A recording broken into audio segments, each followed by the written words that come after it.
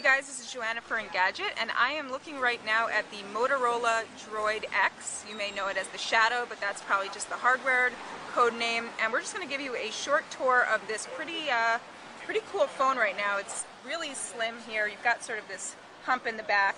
Just give you a hardware tour right now. Here you've got a 8 megapixel camera with a, a light and flash that is pretty bright. Um, just really nice hardware look and feel. You've got a camera button here, two volume rocker up there.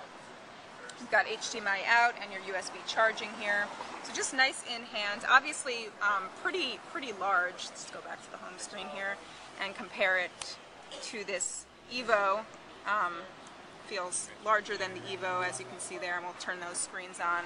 Um, but so definitely the Evo competitor coming to Verizon, and we'll show you a little bit now what's going on here on the um, home screen. So you're running um, this new version of Motorola, Motorola's Blur. Um, we don't know what they're calling it. There's rumors of it being called Ninja Blur. So um, just it looks a little bit different than the original Blur. Not as much as like those in-your-face widget updates. Um, obviously, the owner of this phone hasn't customized a lot of it. Um, but you'll notice here on the bottom, this is one of the first things we've noticed.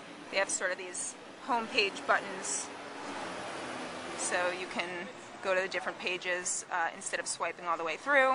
Um, pretty cool, but really like the main thing we've noticed in playing around with this phone for the last few minutes is just how snappy it is.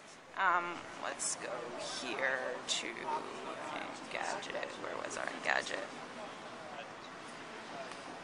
Um, it just feels really snappy. Our, our friend here who has been using the Evo says it feels faster than the Evo, um, though I haven't used the Evo in like daily use. Let's go to the main, the full Engadget experience. Um, so just really like smooth scrolling. Let's go back.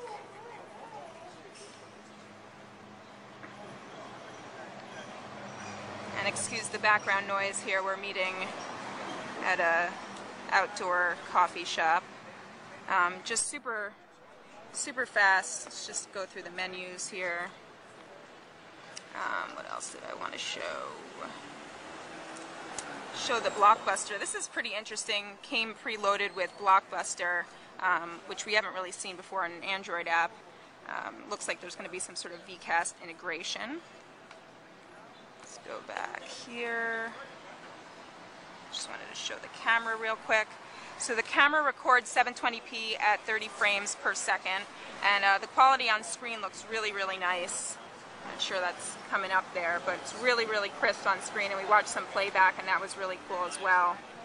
Um, and let's just show that playback real quick to just end off the video and show sort of how quick and snappy that is.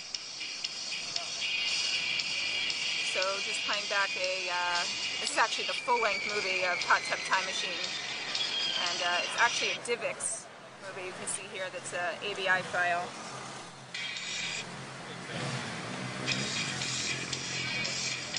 But uh, also just the screen is really nice. We're outdoors right now and there's really not a lot of glare or uh, issues viewing from this side.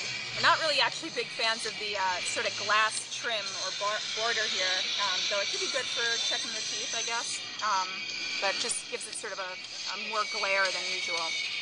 So this is actually, you know, a, a real a, a, real first look at the uh, Droid X. Uh, we're definitely don't know anything about pricing or availability, but uh, this actually looks pretty close to final as far as we're concerned. Uh, we'll let you know when we hear more.